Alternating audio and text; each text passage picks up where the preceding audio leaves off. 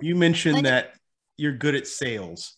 Um, there was oh, a yeah. great, there's a great book I read called "To Sell Is Human," and it really unpacked the idea that every time you open your mouth, you are selling an idea, a concept. You're talking to your wife or your spouse about, you know, should we go to the, you know, one place or not? It- It's it's a constant skill, and um, in fact, there's a there's a gentleman that we both know. His name is Michael. His last name is Strong, and he talks about the importance of sales as a superpower. You sell yourself every time you're talking to someone. You do, um, and I, having interacted with you for this, you know, 20 minutes or so, 30 minutes, I can sell that you know how to sell yourself. That then can carry you in enormous ways across your across your life your lifespan. So Mhm. That is a wonderful power, wonderfully powerful skill, and it's undervalued in the majority of, of academic settings. Yeah, I think so.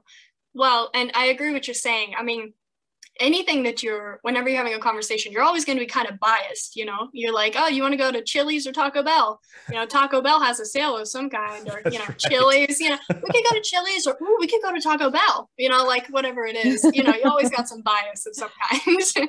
It's always But- Taco Bell, by the way, for me. Ah, man, Chili's. what are you talking about?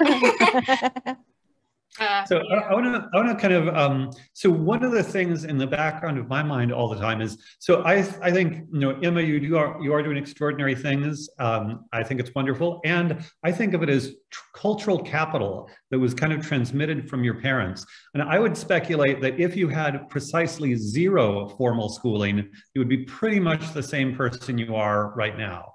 That is that most of you know all the characteristics that Matt and Kath have been asking you about. Oh, I learned that in the seventh grade curriculum. No, I learned that by going out and doing things and talking to people.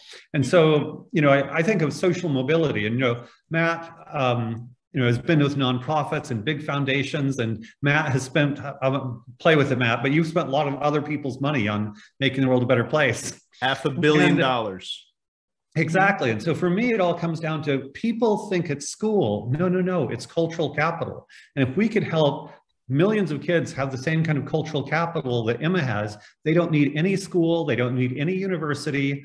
You know, the whole school system to me seems like this parallel universe that people believe in. It's almost like this. Um, I don't know. I think it's this weird superstition. Belief in schooling and university is a superstition, as far as I'm concerned. And if we understand that no, certainly again, for doctors, mathematicians, it's great. So that's, that's maybe Mhm. 20 to 30% of the population at most. Most. at But for like 70% of the population, it's really cultural capital.